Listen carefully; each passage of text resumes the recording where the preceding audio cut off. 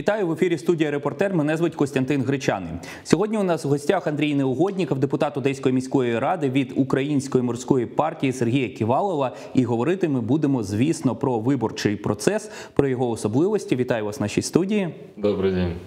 Андрію, от чим е, вже для вас запам'яталася ця виборча кампанія, які її особливості, і що ви хочете порадити в виборцям? Ну я маю на увазі без агітації, а в контексті якраз процедурних моментів. Я хочу сказать, что у нас каждая избирательная кампания, она чем-то запоминается, э, чем-то эм, остается в памяти, в отличие от другой избирательной кампании. Это связано с тем, что у нас на протяжении последних 20 лет а, избирательное законодательство меняется. Я имею в виду как минимум а, выборы в органы местного самоуправления. Если вы помните, в 2006 году это была пропорциональная система, были Э, списки. В 2010 году это была мажоритарная система, чистая мажоритарная система, как э, мы ее понимаем. В 2015 году э, была смешанная система, когда избирались, избирались списки, но под каждым списком был кандидат по отдельному мажоритарному округу.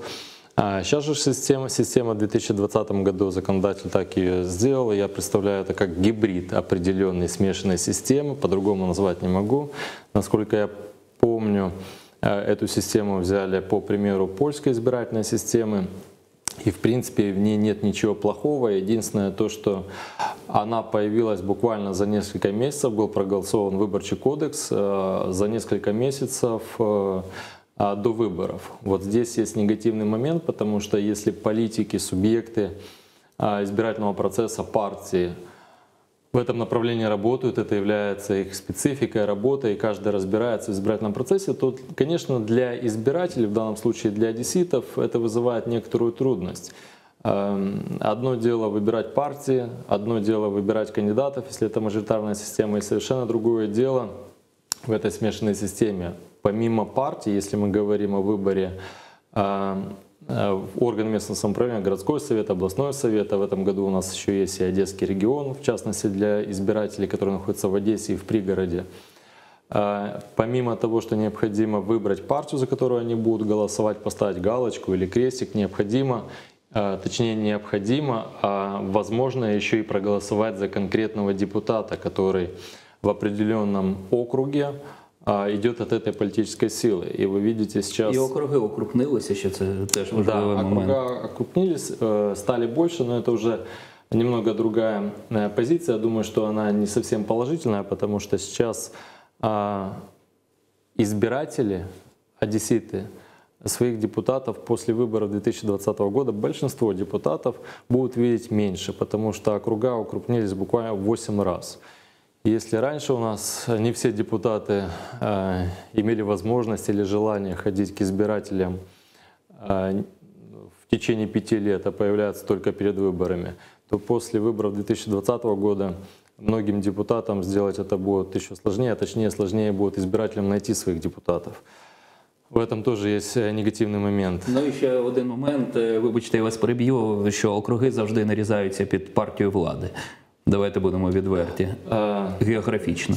Ну, в місті, это... в місті це менше помітно, а от в області це 100%. Я хочу сказать, что и в городе это видно. Например, как был э, распределены округа в Киевском районе. Да, тут э, никакая география и даже соотношение численности избирателей э, разное. Ну, невозможно так поделить, чтобы Э, разница в округах в одном и том же районе города была там 5-8 тысяч разницы голосов. Но выборы у нас сейчас будут сложные, и сложные я имею в виду не для политиков, а больше для избирателей. Это связано и а, с пандемией, которая у нас в стране, в мире есть. Конечно же, э, это связано напрямую и с явкой избирателей на избирательный участок. А что я имею в виду? Вот э, некоторые избиратели, я уверен, опасаются за свою жизнь, опасаются заболеть. Я с некоторыми разговаривал по телефону. Они просто не выходят из дома. Я говорю о людях пожилого возраста, те, которые находятся на пенсии. Наиболее дисциплинованная категория Самая, самая дисциплинированная так? категория избирателей. А некоторые из них останутся дома. Те же, которые пойдут на избирательные участки, нас ждут такие новшества, как э, необходимо померить температуру при входе на избирательный участок. Если правильно подходить ко всем нормам э, и с точки зрения безопасности. Необходимо, чтобы каждый избиратель принес с собой ручку. Логика заключается в том, что каждый избиратель распис, э, расписывается в отрывном талоне, а воевывление своей ручкой забирает ее, уносит домой, чтобы никто больше ее не трогал, и, так, и таким образом минимизировать э, заражение эпидемии, если кто-то будет больной. Каждый, э, каждый промежуток времени участковые избирательные комиссии должны проходить дезинфекцию. Кто это будет делать? Каким образом это будет делать? На сегодняшний момент э, вы знаете, что не все участковые комиссии сформированы. Из 18 членов большой участковой комиссии а во многих комиссиях 6-7 человек отсутствуют по причине того, что политические партии не дали своих кандидатов или ну, кандидаты неответственно относятся к этому процессу. Конечно же, на явку избирателей еще и повлияет тот факт, что если в прошлом году избиратель получал бюллетень, а, я имею в виду выборы народных депутатов, а, получал один бюллетень, он шел в кабинку для голосования, голосовал, то в этом году а, избиратель в Одессе получит 4 бюллетеня. Выборы за Одесского городского голову, бюллетень. Там, по крайней мере, все понятно. Там есть 25 кандидатов, если я не ошибаюсь. А, и путем а, выделения одного кандидата, галочку или плюсик, голос зачитывается. Но получит еще и три остальных бюллетеня. Это в Одесский городской совет – а, в Одесский областной совет и в Одесский район. И как раз в этих бюллетенях, помимо выделения или определения, за какую партию избиратель будет голосовать, избиратель может еще и выбрать кандидата. А в каждой партии представлено 5, 6, 7 кандидатов. И поэтому время, а, проведенное каждым избирателем в отдельной избирательной э, кабинке, оно увеличится.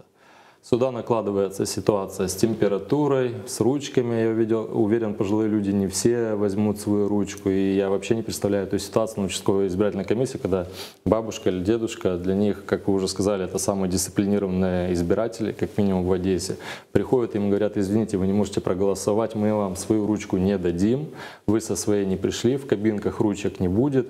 То есть е, возможні сложності, звісно, в цьому моменті. І давайте ще скажемо нашим виборцям обов'язково, що якщо ви хочете проголосувати за цю партію, то ви маєте обов'язково голосувати тільки за кандидата від цієї партії. Якщо от дуже багато зараз кажуть, що за партію проголосую за цю, а от мені подобається там, ну от суто на там емоційному якомусь особистому рівні, людина подобається інший кандидат. От якщо ви поставите галочку за одну партію, а за кандидата іншого це буде зіпсований бюлетень. Оце дуже така складність цих виборів. Очень правильно говорите. Я считаю, что вот та реклама, которая сейчас засеяна вся Одесса кандидатами, отдельными кандидатами, номер два, номер четыре, как правило, большинство избирателей действительно впутаются, что это за номер. Не все знают, что э, необходимо рекламировать, по крайней мере, номер политической партии. А в, в этой политической партии уже избиратель сам разберется, увидит фамилии, за, за кого захочет, за того и поставит номер. А агитация за номер в партии каждого кандидата, ну посудите сами, у нас 14 партий выходит на выборы в Одесский городской совет. В каждой партии, предположим, 6 кандидатов. Получается, 84 кандидата идут в Одесский городской совет. И практически все эти 84 кандидата рекламируют себя. Я номер три от такой-то партии, я номер два от такой-то партии. И пересекаются эти номера только с разными политическими партиями, но мало где указан номер э, номер э, партии в городском списке. С другой стороны, даже если указывают номер партии в городском списке, а все партии в разных списках в областной совет, в Одесский район и в Одесский городской совет, они под разными номерами, опять же. А, плюс, как правило, партии рекламируют, э, кандидаты в партии рекламируют не только партию, они еще и рекламируют кандидатов своей партии, а кандидат в бюллетене на выборах мэра под другим, опять же, номером. Я думаю, что та реклама, которая а на бигбордах, а, везде, везде, везде на афишах есть в Одессе, она больше запутывает избирателей. У нас одесситы, а, я уверен, сами разберутся, те, э, кто хотят, за кого они хотят голосовать и за какой номер кандидата в партии они проголосуют. Но все эти аспекты, связанные и с коронавирусом, и с усложненной непростой, но я считаю все-таки правильной избирательной системой, они, конечно же, повлияют на явку избирателей. Повертаючись до теми коронавірусу, е, які будуть складнощі в зв'язку із цим, і чи ви допускаєте, що на окремих дільницях можуть бути просто скасовані результати виборів? От ну багато є ситуацій. Наприклад, в когось е, там з комісії виявляють коронавірус під час безпосередньо е, в, день виборів, і фактично вся комісія має йти на самоізоляцію в той же час. Чи ну з цим дуже багато маніпуляцій може бути, погодьтеся. А, Относительно того, что с этим могут быть манипуляции и специально в угоду каким-либо политическим силам, которые а, на некоторых участковых избирательных комиссиях не набирают то количество голосов, которое им бы хотелось, возможно, такие манипуляции будут.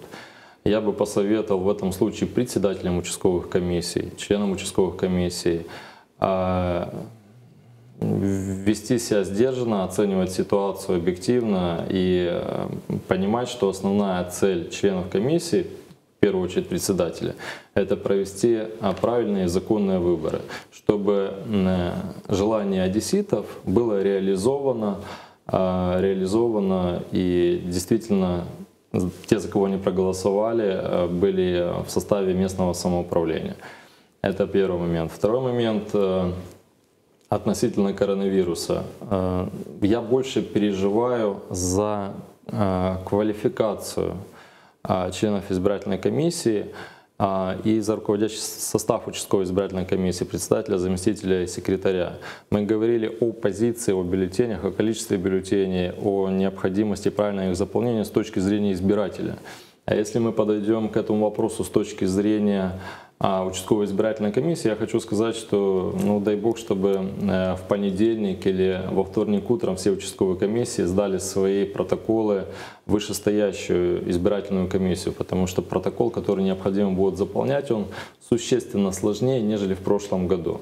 И поэтому вот в этом аспекте э, я бы немного переживал, чтобы э, выборы на определенных участковых комиссиях были признаны И признаны они были потому, что у нас, к сожалению, не на профессиональном уровне созданы участковые комиссии в большинстве случаев. Що у нас зараз зі списками виборців? Адже ми пам'ятаємо на минулих виборах, е, що комісія нібито мала право під час, от е, в день виборів, вносити е, там в якісь поправки в списки виборців, але в той же час законом також було прописано, що комісія засідає безперервно, тобто вона не може зробити перерву для того, щоб проголосувати за внесення в списки виборців. Тобто закон був таким чином виписаний, що ця процедура була неможливою. Тобто потрібно було йти в е, райадміністрацію, по- звертатися до суду. Ну дуже складна процедура, з м, якою ніхто виконувати, ну мало хто з виборців буде виконувати. Яка ситуація зараз з цим? Э, Вы знаете, каждые, каждые выборы, независимо а, куда они происходят, Верховную Раду, выборы президента Украины или мест, органы местного самоуправления, всегда есть определенные проблемы а, со списком избирателей. А, Основная логика а, проведения выборов – учесть максимальное большинство, а еще лучше 100% выбор, выбора избирателей. И если что-то этому мешает, необходимо, не дай бог, остановить работу комиссии, что категорически запрещено. Или необходимо поехать э, в территориальную избирательную комиссию. Но эти моменты надо э, учитывать председателю и их каким-либо образом сглаживать. Конечно, есть пробелы в законодательстве. Если мы будем э, профессионально не подходить к этому вопросу, возможно, будут проблемы. Но в этом году я не, не знаю, я э, в этом году являюсь кандидатом в депутаты, а не членом избирательной комиссии, поэтому мне сложно сказать, насколько сейчас много проблем или мало проблем со списком избирателей. Я их не видел, у меня нет доступа к ним, потому что доступ, э, я имею в виду в рамках города. Доступ к спискам избирателей только у членов комиссии и у тех людей, которые прописаны и голосуют на конкретных участках, и они могут прийти проверить себя в списках избирателей, есть они или нет. Ну і останнє до вас питання. От тут вже саме як до кандидата, е, як вам ця взагалі виборча кампанія от із середини? Чи відчуваєте ви, що присутній адмінресурс? Адмінресурс ми знаємо, може бути тільки з боку влади, так чи є тиск, чи є певні обмеження, чи є нерівна конкуренція? А, Конечно, эти выборы особенные. Особенность их заключается э, не только с положительной стороны, количества бюллетеней или э, процедуре голосования. А учитывая, что у нас абсолютно новый избирательный кодекс, э, к сожалению, некоторые территориальные комиссии по-своему рассматривают ситуацию с допуском, с регистрацией политических партий или кандидатов в мэры по-своему трактуют закон. Конечно же, это плохо. К сожалению, у нас э, уже наработалась судебная практика, и в дальнейшие, э, в дальнейшие выборы, если они пройдут по этой же системе в органы местного самоуправления, подобных искажений законодательства не будет. А, И в этом случае я не могу четко сказать, был ли это админный ресурс, но все признаки существуют. Это первый момент. Ну и, конечно же, та реклама, которая идет э, от э, действующей промерской партии, она связана в основном э, с делами, с работами, которые проводятся в городе за бюджетные деньги. Я неоднократно говорил, что э, в Фейсбуке вычитал, и, иногда интересные мысли есть. Благодарить депутата за то, что он что-то вам сделал за бюджетные деньги, это то же самое, что аплодировать банкомату, который выдает вам вашу заработную плату. Меня очень удивляет, когда в средствах массовой информации, в социальных мережах депутаты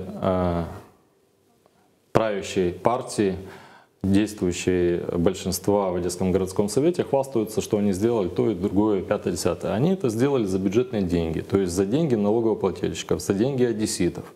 Если бы это были личные средства или инвестиции, которые получены м, только благодаря им, или гранты, которые они выиграли, да, конечно, можно хвастаться. А тут получается ситуация абсолютно обратная. Я рассчитываю, что Одесситы это понимают, одесситы это э, видят и сделают абсолютно правильный и нормальный выбор.